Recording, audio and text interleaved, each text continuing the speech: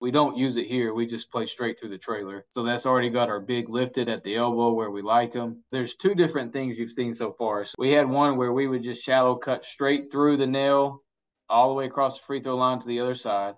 And so that would have been a call that they had made. That pretty much meant we were always going second back door. So this is a different action right here. We're going to DHO to the corner. And this is one of the few times, like on a DHO, we're not really trying to score off of it. We're just trying to get the ball right back to the middle of the floor and get to this middle ball screen or play to the pinch.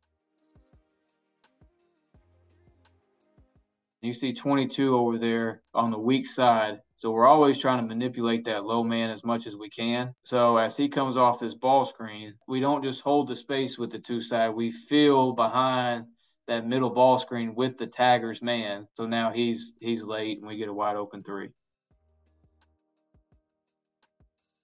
We shallow cut, we hand off, we throw it. He's a little late on the replace. And then we wanted to go right back, high low game right there, not open. We got trips. There's a burn. There's a fill. There's a reject. He Barkleyed it.